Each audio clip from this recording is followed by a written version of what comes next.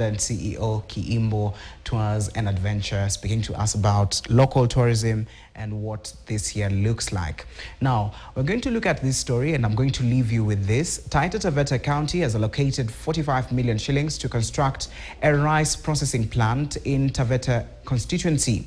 The plant is aimed at boosting food security for adding value to rice while at the same time create jobs for the locals.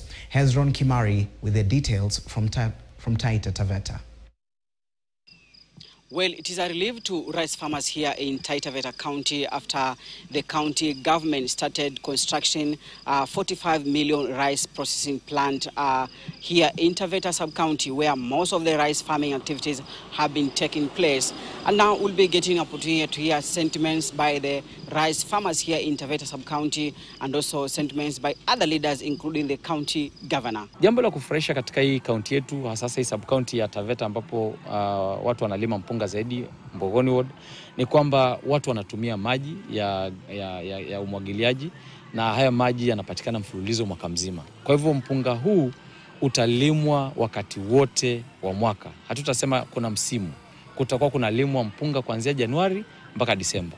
Sasa sisi ndio tutaketi na wakulima tuweze kuwahamasisha kama idara kuwa walime kwa mifumo, ili watu wakilima mwezi huu kama ni Kitobo, mwezi ujao hiyo watu wa Kimorigo, mwezi ule mwingine watu wa, wa Mata Ward, mwezi ule mwingine tupate ile ya Sagala, mwezi ule mwingine tupate ya Bura. Utakuta kutakuwa na mzunguko. Wakati wa kuvuna, kila wakati tutakuwa tunavuna na kila wakati tutakuwa tuna, tunaotesha. Kwa hivyo kutakuwa na mzunguko mzima. probably because hatujafanya soil testing but najua tulifanya soil testing, ni matokeo hatujajulishwa vizuri, ili tuweze kujua ni mbolea gani tunastahili kutumia, sababu mostly mpunga unapata unahitaji either sulfate ammonia ama urea, na ukienda kule kwa store, wewe ni mkulima umezoea urea, unapata hakuna urea, unapata unalazimishwa kununua ile sulfate ammonia ama CAN na labda wewe umezoea SA inabidi utumie urea. So hiyo pia wakiweza kufanya data wajue ni mbolea gani wakulima wana prefer but also waweze kutu advise according to our, to our soil. Watufanyie soil testing vizuri na wakulima wote washauriwe kulingana na mashamba yao. Tumeunda umoja wa wakulima wa mpunga, yani Rice Growers Cooperative Society ambayo inaitwa inaitwa USWI.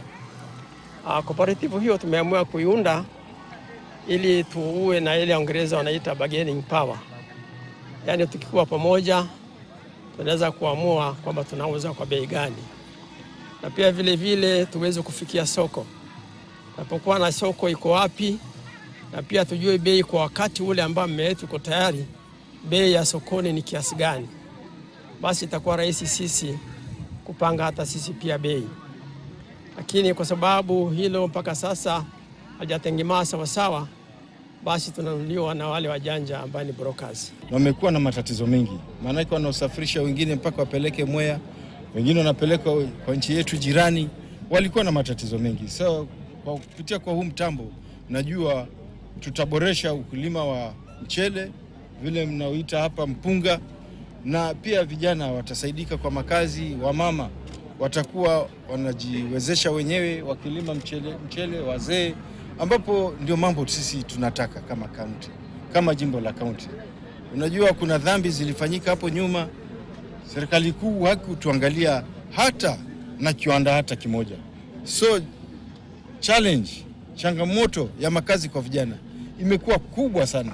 Sasa tukifanya mambo kama haya, angalau yanapunguza hiyo tatizo la makazi. Well, as you have heard from the rice farmers and also leaders, they are hoping this uh, project will be coming along to improve food security in this county and also improve market for the rice farmers who previously have been uh, forced to ferry their produce to Mwea